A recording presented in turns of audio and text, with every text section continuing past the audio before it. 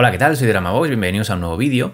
Y bueno, como habéis visto al principio, pues voy a continuar con eh, bueno, esta trilogía de vídeos que estoy haciendo de escenografía del oeste.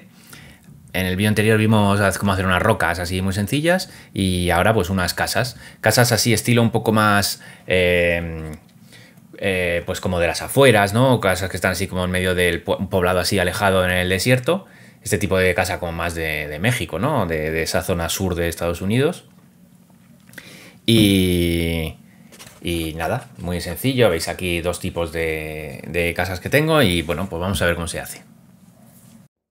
Bueno, pues lo primero que vamos a hacer es, como veis aquí, yo tengo unas, eh, unas planchas de polistireno que he cortado a un centímetro, que va a ser el grosor de las casas. Lo corto a la altura que, que considero que tiene que tener la casa. Y bueno, el ancho un poco a ojo lo he hecho la verdad. Y esto se cortan las cuatro paredes y un techo. Yo me estoy basando en unas casas del juego eh, de esperados que, bueno, veis aquí unas fotos y cualquier tipo de casa rectangular es válida. Para lo que es el tejado va a ser de madera y entonces pues bueno, voy a cortar unos eh, listones con el cúter, luego lo marco eh, esos cortes con el lápiz y le hago una textura con, la herramienta esta como unas vetas. Separo un poquito y lo hago más irregular esos tablones de madera y ya estaría hecho el tejado. Bueno, y claro, hay que ponerle dos clavos a cada listón porque si no el tejado se cae.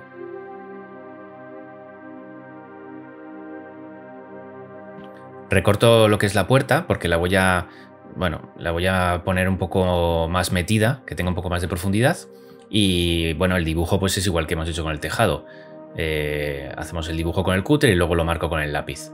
Y para las ventanas pues lo mismo. Toda esta, todas las, aristas que tiene eh, la casa hay que redondearlas. Yo utilizo este lápiz con el borde para ir redondeando y dándole un poco de textura a todos los, eh, bueno, pues todos los bordes e incluso también las paredes. Aunque luego le voy a poner masilla, pero de esta manera pues queda un poco más eh, irregular, un poco como si fuese casas de adobe, pues hechas un poco más artesanales.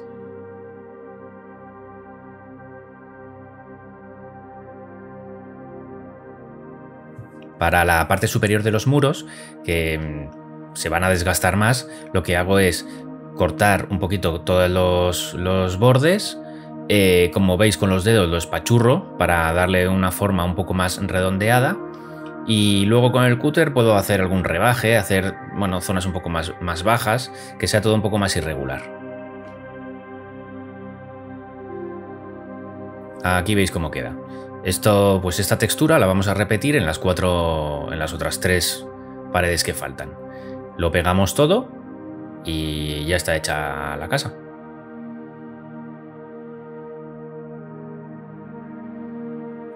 Y bueno, pues como veis es eh, una casa bastante sencilla y bastante rápida. Al final son formas rectangulares muy sencillas. Puede ser más alto, más ancho, de dos pisos, eso como, como queráis. Y bueno, dejo aquí el proceso entero de cómo le doy textura a todas las paredes y no olvidéis suscribiros, que es gratis.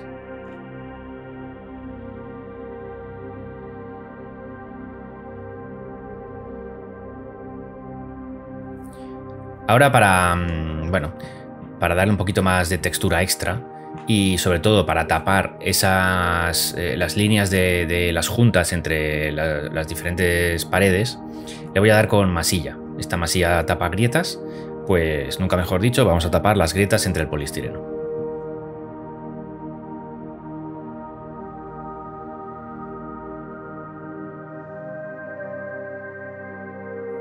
Yo esta masilla para conseguir ese acabado un poco más de adobe, pues la extiendo mucho con el pincel y con esa pincelada es la que le va dando esa, esa textura irregular. Aunque después, como vemos ahora, eh, con el pincel un poco húmedo se le vuelve a pasar por encima para suavizar un poco, pues bueno, sobre todo los pegotes que hayan quedado, que quede un poco más a escala, porque la pincelada es demasiado grande para, para este tipo de escala.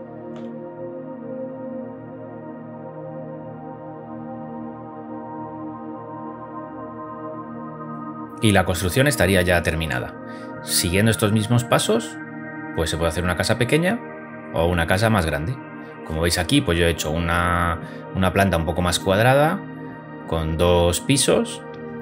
La construcción es lo mismo, tanto el piso de arriba como abajo. La única diferencia es que, bueno, tiene esas vigas que sobresalen, que son cuadraditos de polistireno que los he pegado eh, tanto en la parte frontal como en la parte trasera.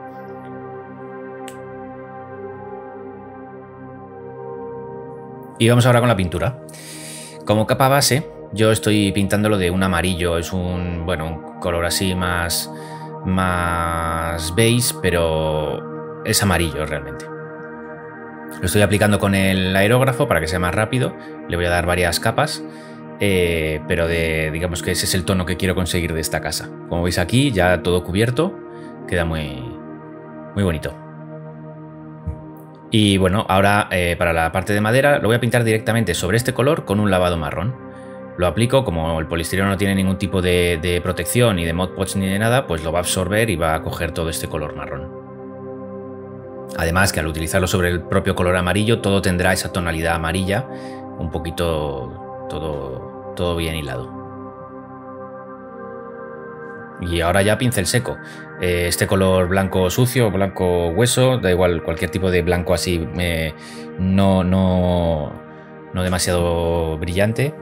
Eh, y ahora es darle un pincel seco bastante cargado, que coja mucha pintura, porque no quiero pintar, digamos, los resaltados, sino pintarlo todo que cubra, pero que se mantenga ese tono amarillento. Pero como veis aquí, con bien de, bien de pintura y pinceladas fuertes.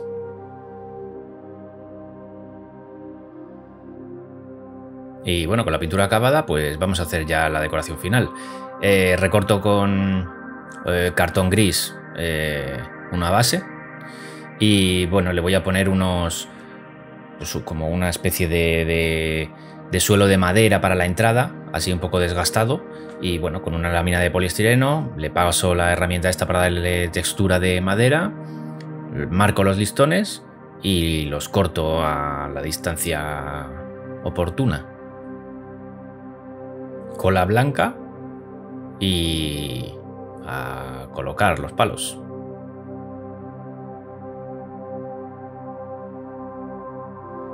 Bueno, la gracia de, esto es que cuanto más descolocados, más desgastados parecen y más realista parece también.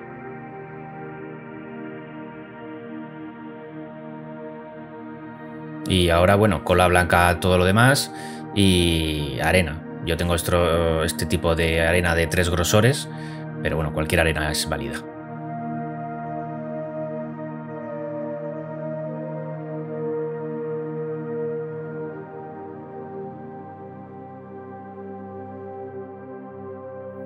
Para pintar el suelo, bueno, estoy utilizando un otro color beige así amarillo, un poco más oscuro que el que he utilizado de color base de la casa y marrón para la madera.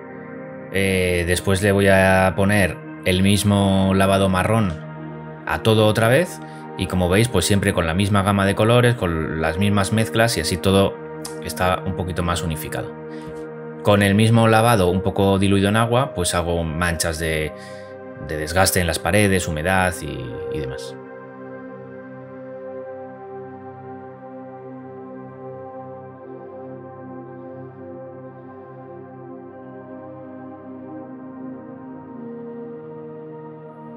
Y ahora pincel seco a tanto el suelo como a la madera con el mismo color que hemos hecho pincel seco a la, a la casa.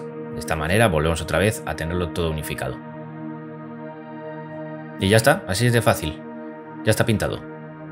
Ahora vamos a ponerle mm, detallitos. Pues como veis, bueno, pues listones de madera. Esta ventana no me gusta, hay que taparla. Pues se le pone un par de listones.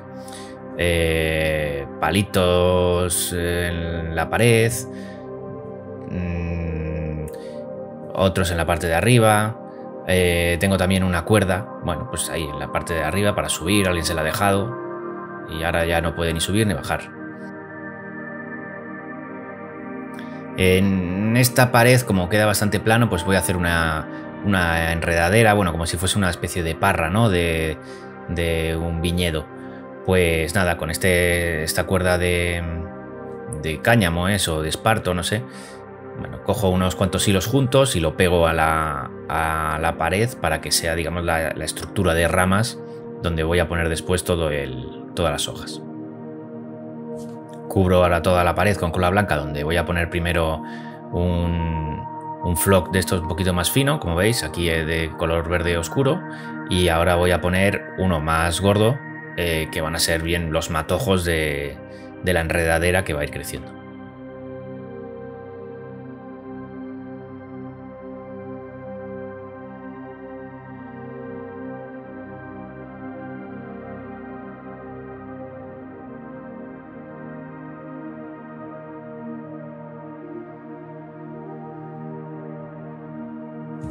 Y con esto la parte de vegetación, pues ya está. He puesto también una especie de líquen, ¿no? Ahí muy típico esto del desierto, ¿no?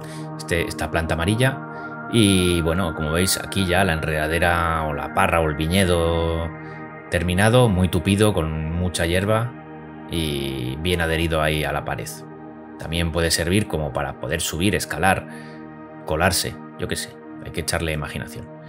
Y bueno, pues ya lo último que queda es ponerle detallitos de, de cajas y barriles. Esto ya, pues, de todas las cajitas que tengo de un molde de, de silicona, pues lo relleno por todos lados. Pensemos que si estas casas van a ser para Wargames, pues todas estas casas son coberturas, son zonas donde cubrirse, donde, bueno, se puede utilizar y si es para rol, pues más todavía, sitios donde poder investigar, donde guardar cosas, descubrir. Eh, siempre la decoración queda muy bonita.